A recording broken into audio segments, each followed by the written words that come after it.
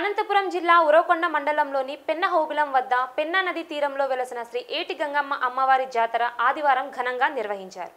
పవిత్ర మాఘమాసంలో మూడవ ఆదివారం నాడు ప్రతి ఏటా ఈ వేడుకలు జరుగుతాయి. తిరునాళ్ళ సందర్భంగా తెల్లవారుజామున నుండే పెన్నా నదిలో వేలాది మంది భక్తులు పుణ్యస్నానాలు ఆచరించారు. గంగమ్మను దర్శించుకొని తమ మొక్కులు తీర్చుకున్నారు. అనంతరం అమ్మవారి ఉత్సవ విగ్రహాన్ని ఘనంగా ఊరేగించారు.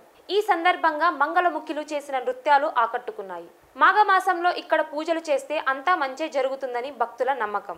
పూజల అనంతరం నది ఒడ్డునే వంట వార్పు చేసి కుటుంబాలతో కలిసి భోజనాలు చేశారు. ఈ జాతరకు అనంతపురం జిల్లా వాసులే కాకుండా కర్ణాటక రాష్ట్రం నుంచి కూడా వేలాది మంది భక్తులు గంగమ్మ దర్శనం కోసం తరలివచ్చారు. ఎలాంటి అవాంఛనీయ సంఘటనలు జరగకుండా పోలీసులు గట్టి బందోబస్తు ఏర్పాటు చేశారు.